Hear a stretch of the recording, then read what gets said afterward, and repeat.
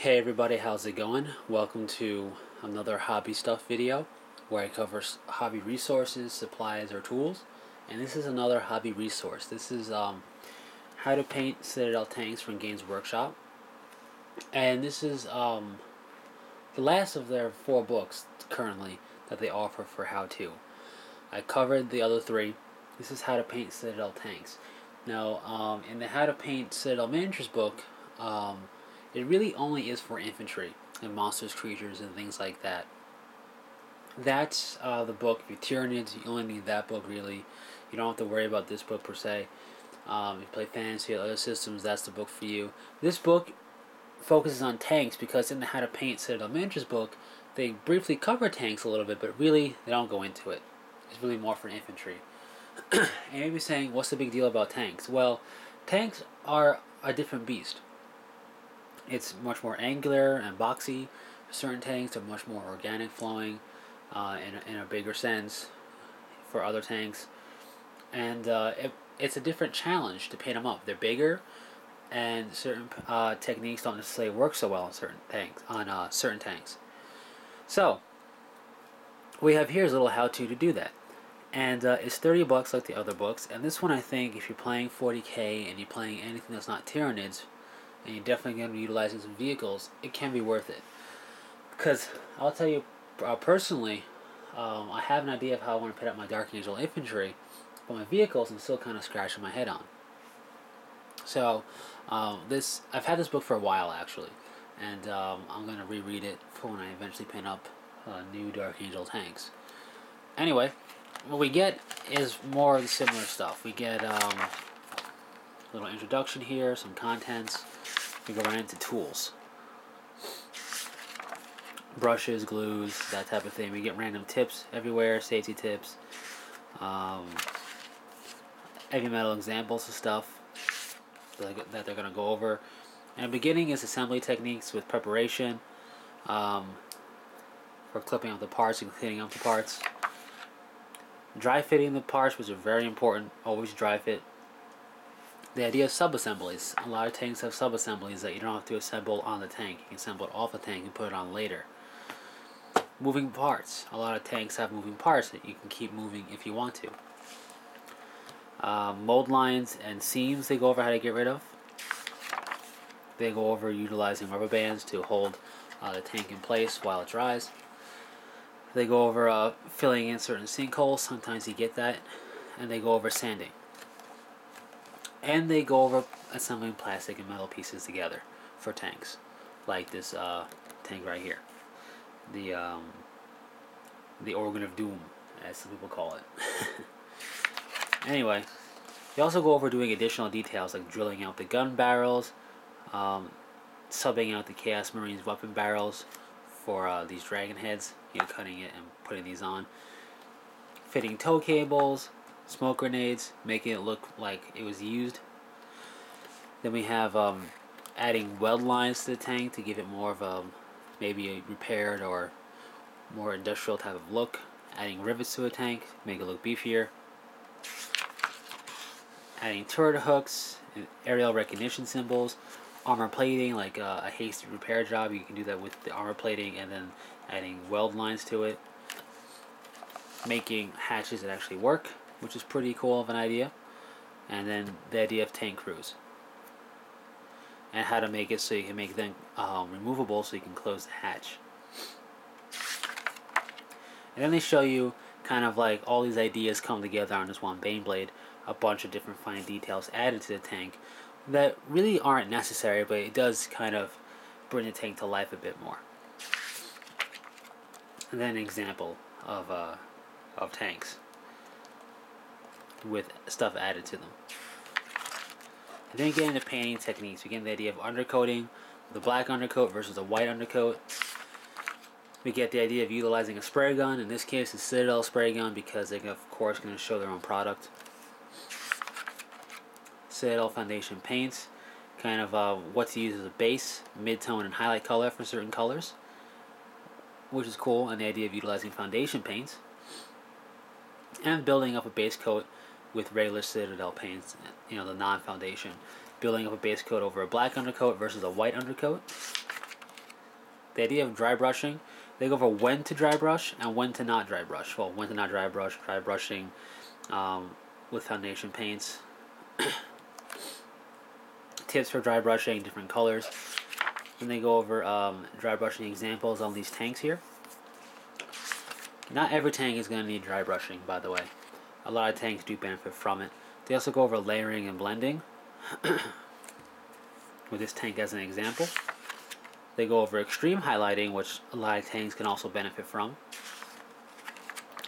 They go over utilizing washes, again, a technique that will be helpful on tanks and on infantry, but again, we're talking about tanks here. And then they go over um, this cool looking Tau uh, vehicle, what they call tide marks, which is pretty cool. Interior detailing, which tanks do have interior detail, and if you want the interior to be visible, you know, i.e. moving parts to open up doors, you're probably going to want to paint them up inside or paint up the interior detail. And then we have camouflage patterns and two techniques of doing it. Controlled burst to give you kind of a faded technique from one color to the next, or masking to give you kind of a sharp, rigid camo line. Examples of Imperial Guard camouflage and their um, application. We have an example of Tau camouflage because Tau do the camouflage a bit differently. And the technique of underdrawing, using a pencil to draw out the camo pattern on the tank and then painting it up. Tau camouflage looks cool, but also looks like it takes a lot of time. Never tried it myself. We have different examples of that here. Then we have the idea of using transfers. Now, not everybody likes using transfers on infantry. They think it's too hard, or they just don't like it. I went over that microsol and microset, very critical things to have. And they'll also work great on tanks. And tanks are big flat objects for the most part. Even with the uh, Tau and the Eldar, they're pretty big, relatively smooth for certain areas to apply transfers or freehand work. And uh, the transfers can really make a tank come to life. And they go over utilizing transfers, even cutting transfers so they fit, so it looks like it's actually behind this tow cable. And microsol, microset will really help you, or microset then microsol uh, will really help you apply transfers even on tanks. They go over masking to get this kind of uh, marking here. This is some really cool masking. I would never be able to cut out a symbol like the Dark Angel symbol to mask, but what they did was skull white the tank, put this masking down properly. Then they probably use a spray gun for the Dark Angel's green, are basically building up the green. And then once they were done with that, they peeled off the masking and got a cool white symbol. I don't think I'd ever do that, but it's a cool idea, and if you have a little bit easier symbol to do, you could uh, apply this. And they show you examples of more masking on these tanks here. Then we have the example of Eldar markings, because Eldar do their markings differently. We have the example of Ork markings, because they do stuff a little differently depending on the clan. Then we have freehand work, lettering, and decoration, which they show you here and go over how to apply freehand lettering and the idea of freehanding on your tanks with some two with two very cool examples. Um, Marneus Calgar's personal Land Raider, which has always been one of my favorites when I first saw it, and then this crazy, wacky uh, Land Raider Crusader custom job with this weird turret on top, and cool freehanding for the Dark Angels. Then we have vehicle crew. The idea of vehicle crew, and what they go over here is, you know, sh should they match the tank? Should they have certain colors? Stuff like that. It, it kind of gives you help there. Um, and they go over to how to paint Citadel Miniatures book here, saying, you know, this is a good idea, you know, uh, to have probably as well for the crew and whatnot. Then we have uh, the idea of crew conversions to give the crew a bit more life, which is kind of cool. Battle damage on our tanks. Now, people love weathering up their tanks, making them look damaged, and this is a section for that. We have some light damage on this tank up here, you know, with uh, some chipping and bullet marks. We got some heavy damage on this tank down here. As you can see, it's pretty much destroyed. This can make a cool either terrain piece or um, objective marker. And they go over some basic uh, battle damage, like scratches, bullet holes, bolter damage, and uh, shrapnel. Then they go over some more exotic stuff, like damaged wraithbone, melta damage, claw damage, bioacid damage, and the idea of hasty repair work, which is pretty cool as well. And I show you examples of this damage on tanks. Um, they go over weathering because people love the weather tanks. Vehicles are not going to be pristine on the battlefield, so weathering adds a sense of realism there. They go over how to do it a little bit here and there. And what I like here is you see it says using pastels. Pastels are basically a good way of making your own weathering powder depending on how well you do it. And they go over that because I don't think Forge World had their weathering powder at the time. So they're basically saying you can make your own, and that's pretty cool. We got the idea of sand, concrete dust, clay, and the idea of road dust here on this Ork bike. And things like bikes, jet bikes, can also make use of this book as well. Then we see scratches, paint damage. You know, it's not necessarily going to be actual full-on battle damage. It could just be damage to the paint uh, on the tank. then we have, um, zoom in a little bit, examples of weathering on these tanks here. We got uh, scorched metal, and we also have a verdigris, stuff like a patina. And then we have rust effects, uh, runoff effects, um, a little bit more type of different rust effect, wet mud, how you can add mud to a model like a Sentinel here, and how to make some mud. They go over here. You can uh, make a mud with a mix of sand, PVA, glue, and scorched brown and ruben brown paint together that make kind of like this paint on mud, which is a pretty cool effect to have. And they show you putting it all together, all the different weathering techniques and whatnot on one tank. Golden Demon examples, and then go into stage by stage.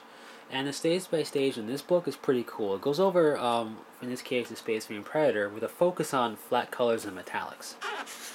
Then you have um, Leman Russ Imperial Guard tank with a focus on camouflage and weathering, which is pretty cool. Then we have an Ork truck with a focus on patterns, chipping, and rust. Then we have Chaos Space Marine Defiler with a focus on verdigris and freehand detail on this um, Nurgle Defiler. And we have an Eldar Falcon with a focus on blending paint together. And that's pretty cool. At the end here we have tank color guides. So if you want to make a Space Wolf gray tank, your base color, mid-tone, and highlight color, kind of like the uh, How to Paint Citadel Miniatures uh, guide as well. And then a picture of a Stompa. So, obviously, if you're going with tanks, this is a very good book to have. And I like how the stage by stage has a focus. Yes, it's showing you how to paint up that Ultramarine Predator, but it's got a focus on flat color work and it had a focus on metallics. You can take those focus points and apply them to that Leman Russ, for example. You can take the weathering on that Leman Russ, apply it to the Predator.